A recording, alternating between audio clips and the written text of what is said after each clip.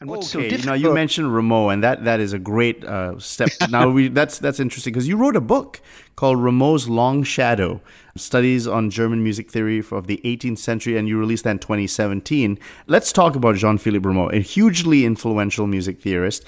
Do people uh, do they understand his theories correctly? Is he being misinterpreted? No, I, I think we all know that he was nearly never really understood. I mean, that was even uh, in his times. Even you could see that's what what uh, Thomas Christensen said in, in years ago in his really fundamental studies. He was never really understood.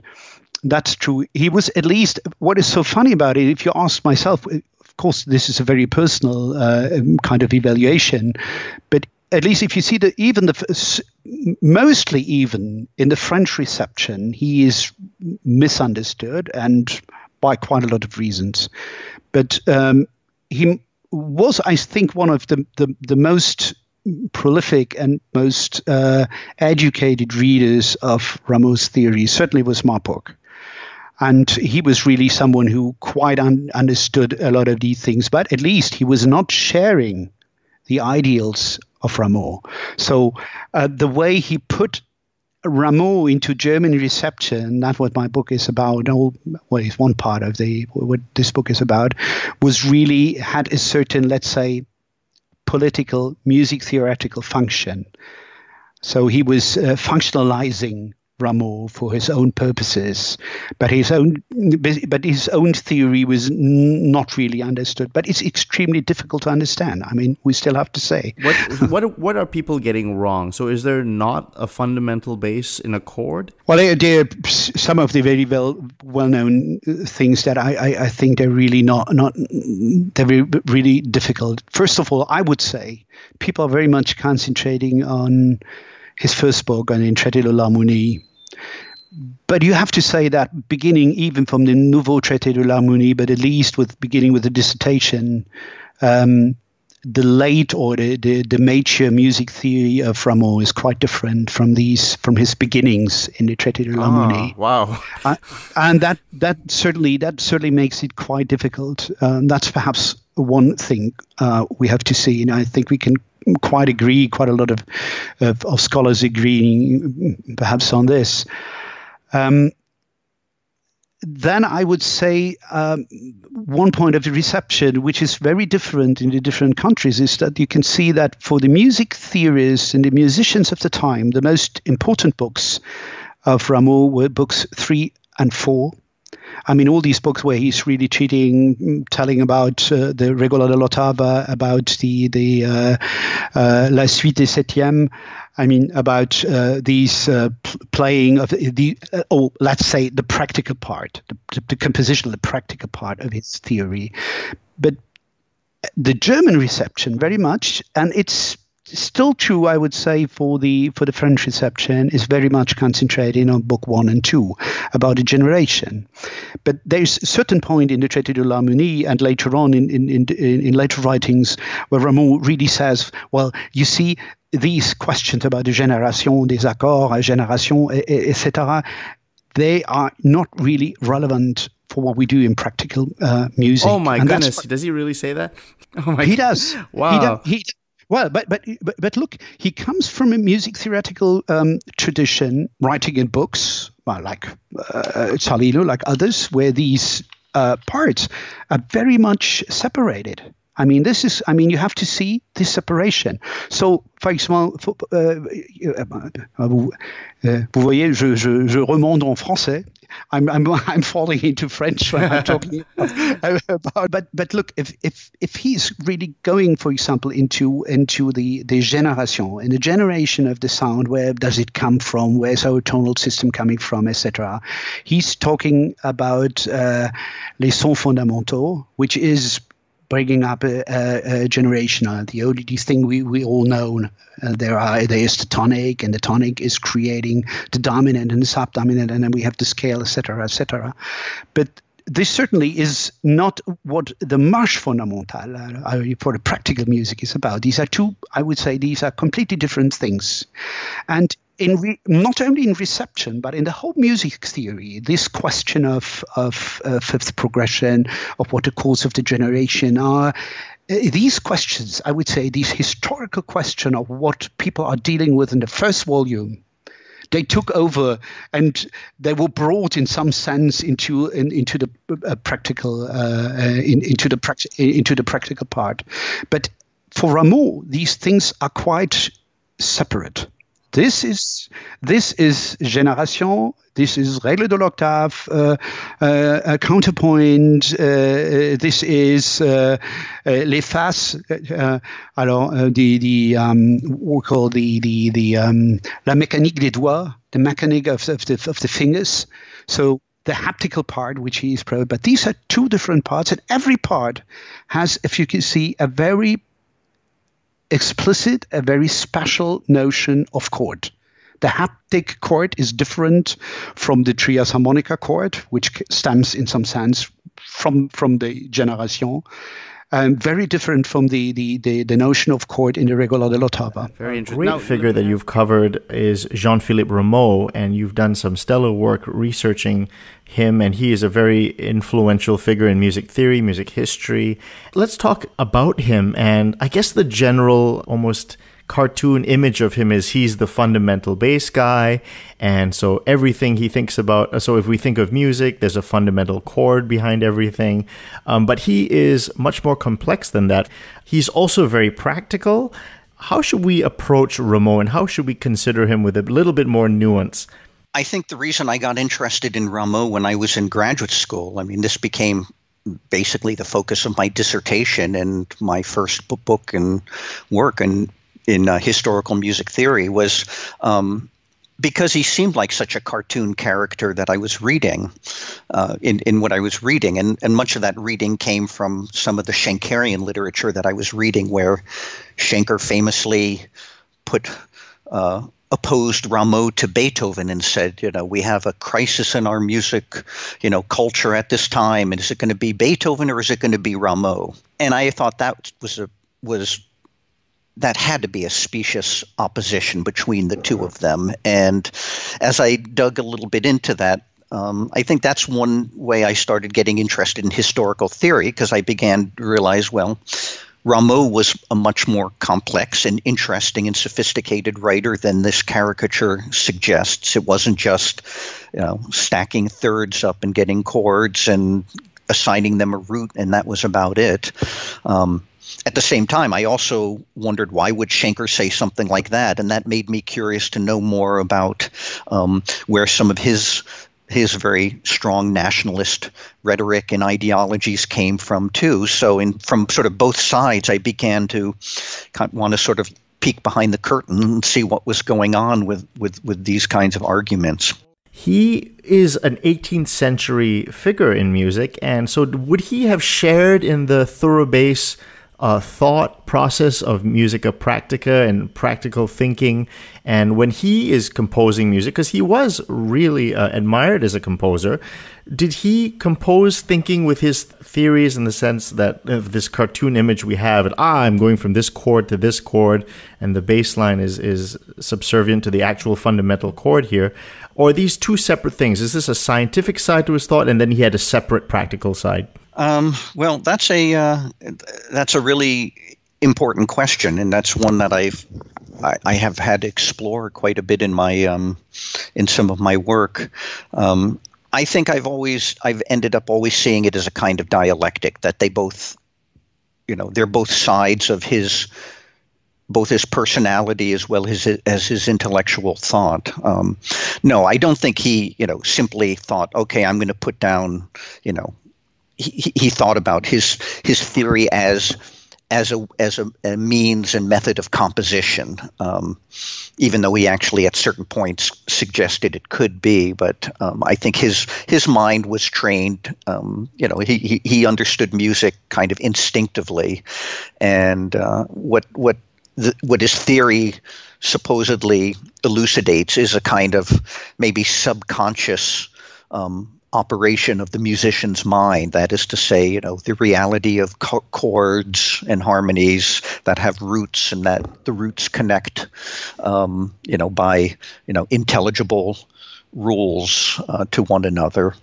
and um, but that this is not something one sort of consciously says, okay, my next chord has to connect by some kind of fifth chord, um, you know, by by a, a, a, perfect fifth or a fourth, um, in order to follow this theory, something like that. That would that would have been you know much too mechanical, and he um, he he certainly would not have ever ever accepted that. There's a point to thorough bass where okay, if you're not going to think of fundamental chords, then you have to learn maybe hundreds of different chords over a particular bass. And the thinking is, oh, if I have a fundamental chord, it simplifies it down to what was it two chords that Rameau said there's only really two chords and then maybe he had the subdominant chord later is that maybe yeah. aimed at, uh, at, a, at, an easier way to learn music rather than the, the hundreds of chords that thorough bass might yield to a beginning student Right. That was, um, yeah, that was a kind of um, sort of a pedagogical uh, heuristic that um, you know could help a student maybe understand the morass of chords, the chord figures. Um, that there, you know, there's ways of sort of reducing these to a couple of fundamental types, and that was um, that was sort of the um, the hook about um, chordal inversion. And you know, one reason it became very popular is that it it it gave a sort of a very simple way of understanding and relating certain figures to one another, so that you know the triad was you know. Um, similar to a six three and a six four chord. Um, you know, if you just uh, inverted them in, in, in different ways. Um, right, and that certainly became a kind of a, a, sort of a useful tool for you know basic um, performance or teaching and, and, and learning to realize the uh, the the thorough bass. But um, I think it's based that it's basically that it's a kind of a introductory way to understand how these chords relate and, and to learn the realization. But pretty quickly, um, any good keyboardist um, doesn't spend that much of time thinking that every time you come to a 6 3 chord saying, ah, you know, this is a first inversion of this triad here. I think you know, you're just, you, you, you, you have other things to be thinking about and work and well, one thing I've noticed to. is if you do think of that fundamental chord way, you do have to add an extra layer of, of thought that slows you down a little bit. Uh, whereas if you if you thought just mm-hmm. strictly mm-hmm. from the bass, it you it is faster because you remove one extra thought process. Yeah, exactly. And so I think um, you do have to disentangle the the, the practical side of his theory, if you will, from the more the more deeper deeper intellectual substrata, which um, was extremely important to him, and uh, but it was not necessarily something you had to. Um, if you will, bring to the fore of your consciousness if you're playing music or even writing music for that matter. And it's not without reason, one of his last writings uh, that he uh, that he published in his lifetime was an essay that was called um, uh, "Our Instinct for Music." That's sort of the basic English translation of it, and uh, it was very much um, about the ways that um, you know musicians um, might operate sort of with this kind of subconscious instinct about the fundamental bass, um, but it's not something that you know. It, it's it's one that you're always aware of at the time. Now, could you speak on his practicality as a pedagogue? Because I, I, I feel a lot of people think of him as a theorist, but he is quite a significant practical musician. Oh, absolutely. Um, yeah, that's one of a, a point I kind of try to hammer home in uh, yeah. in, in, my book about him is that he's very much sort of a you know has a uh, is, is is both a theorist and a practicing musician and all you have to do is look at his very first big treatise the uh, on harmony the traité de l'harmonie and um, the first two books are if you will, speculative, theoretical on chords and the fundamental bass. And then the last two books are practical ones on thorough bass and then on composition. Um, it's uh, you know it's it's modeled on that that distinction of practica and teorica that you know goes back to uh, Zarlino and uh, even earlier to uh, Gaffurio and Ramos and uh, into the Middle Ages. A constant conversation I've noticed is this question of chord invertibility. And again, that it's, it's a term that, that could mean different things to different people. Why was CPE Bach hostile to Rameau and Kirnberger as well, even though Kirnberger seemed to have adopted some of Rameau's uh, thinking? Well, those are yeah, those are interesting questions too that I've uh, that I've uh, I was always fascinated by as as well um, because you're right that uh, someone like Kirnberger turns out to have been offered I think one of the most uh, one of the most elaborate and um, and in some ways uh, pedagogically effective uh, ways of learning Rameau's theory of the fundamental bass, even though he never once mentioned his name to him. And um, I think the answer to your question goes back to um, where we began. That um, is, it's the politics of uh, of music theory. Um, it's uh, it it never has been and still is not just a dispassionate intellectual exercise. There can be different opinions and polemics and arguments, and sometimes they don't always have. Um, have anything to do, or uh, not completely, um, on just very um, you know scientific questions of testing and verifying some statement or uh, or a rule that um, a theorist deduces. Um, they can often be based on petty jealousies and um, and rivalries, and um, and that's the case I think with uh, in uh, with uh, Rameau's reception in Germany. That there was uh, you have to put it in the context of um, of kind of polemics between French music and um, and its recept and the way that it was um, received in Germany at the time, um, and um, that, that's likewise, I think, part of the ways that Schenker was looking at it too was a, was sort of this innate prejudice against um, almost anything French, um, and that would have included something like Rameau too this question of chord invertibility, did it originate with Rameau or can we see it in the history of music theory go even earlier than him? And and where do you do we see the earliest conceptions of chordal invertibility? Um, yeah, sure. I mean, a number of scholars have looked into this question, and um, it, um, it, it seems like it's been almost a little competition. Who can find the earliest citations of some of these of, of uh, you know triadic invertibility? Just as there's a little other uh, Olympic uh, contest for where is the first chord root that's been identified, or where is there the first Rome, who used Roman numerals for yes. the very first time, and so forth.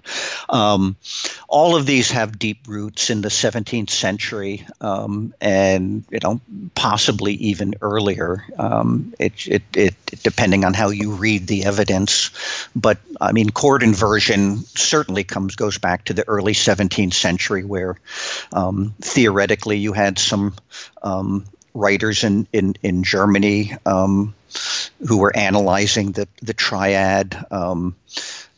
Where you know parts of this came up um, as, as as as a discussion, um, and uh, you also find it in some very practical ways of some of the. Uh, uh, continuo um, pedagogies at the time, where, um, as you mentioned earlier, there um, the the keyboardist the, the, these these uh, figures were often taught as very simple, you know, kind of transpositions of one another, six three, six four from the five three. But there was no theoretical um, argument about that. It was just simply, hey, if you want a really simple way of um, playing, um, you know, understanding the six three chord, just imagine the third below it and think of the triad on that, and that's what you play with your right hand. And you know, it's as simple as that and that you find in you find throughout the 17th century.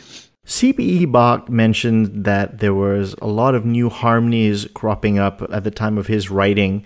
And is it just a consequence of the age that perhaps fundamental chord theory is useful to because already we have so many different chords. Uh, now we have even more interesting harmonies cropping up. Perhaps we need to have a system to categorize all these harmonies, and thus fundamental bass theory is more useful to categorize all these new chords and new harmonies. Yeah, I don't. I mean, fundamental bass is not, um, you know, or maybe more accurately, the you know Rameau's theory of chord generation is is not very uh, successful in accounting for a lot of the um, you know the more dissonant harmonies that were being uh, tested by composers in the uh, in especially later in the 18th century, but even for that matter, for uh, you know some of the figures that J.S. Bach would have uh, used in um, in some of his writings, um, you know that's always been one of the um, one of the the I guess the difficulties of, of, of using very strict, you know, uh, Rameauian, you know, chord theory or or for that matter Roman numeral theory is that it's just um, it's it, it can't accommodate um, in any strictly generative way these harmonies. You have to take into account counterpoint, and you know, and most of those would end up being very difficult and complex harmonies. You know, usually um, are better understood as um, you know various contrapuntal voices that are moving above the harmony and you know maybe at a given verticality be caught in a harmony but um, you know can't really be understood as sort of organically resulting from some kind of generative source. Um, it's it's it's the play of counterpoint. And that's where you know figured bass is a much more uh, if you will, you know, accurate notation for uh, for for capturing this than is uh, than is uh, than than our Roman numerals. Did Rameau speak of counterpoint in his theoretical treatises? Of course, he did.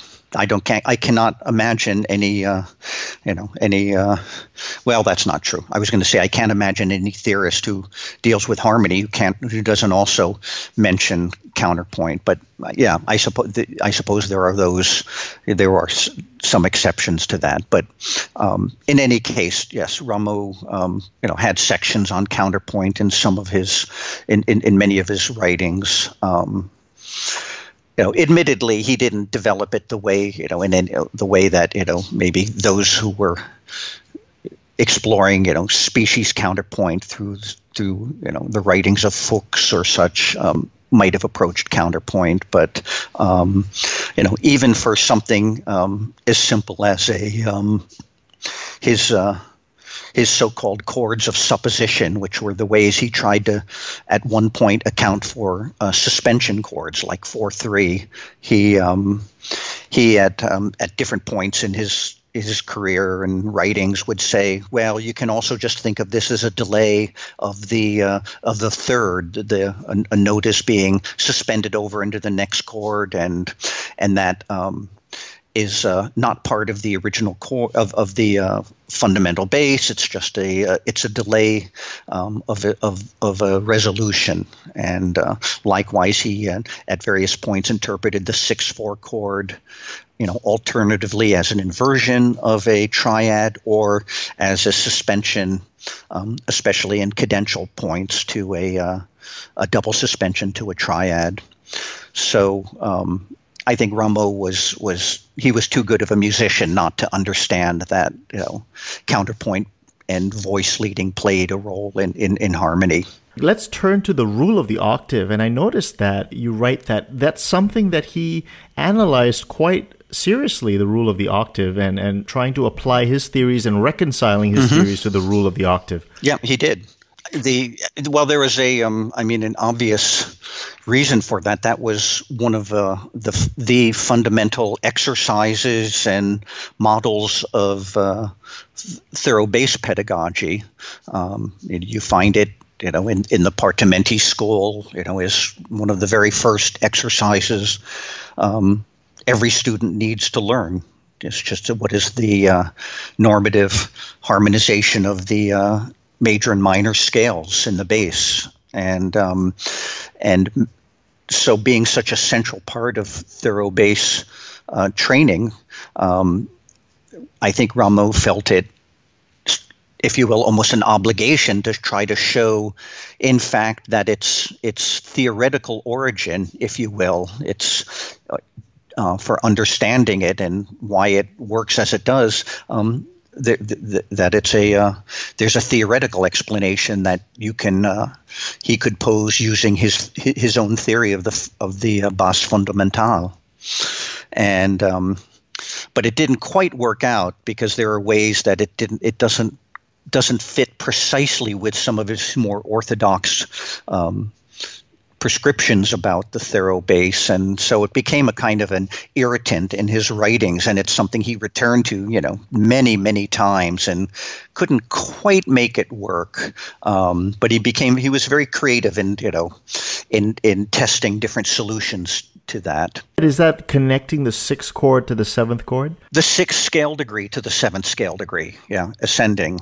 Um, yeah, that's one of the places where there, there would often be a um, uh, a, a, a, disjunct um, because that would require um, would require a subdominant chord moving to a, a, a dominant chord, and according to his um, his his his original theory, uh, you shouldn't have uh, you shouldn't generally have a um, a motion by a second um, in the fundamental bass. You know, it's better to interpret the um, the uh, the for the what we would call the subdominant in that case as a kind of inverted uh, supertonic chord, the chord on two, and so that became um, that became one of the knots if you will, in his uh, that that he couldn't quite untangle in his uh, his arguments about the uh, the rule of the octave.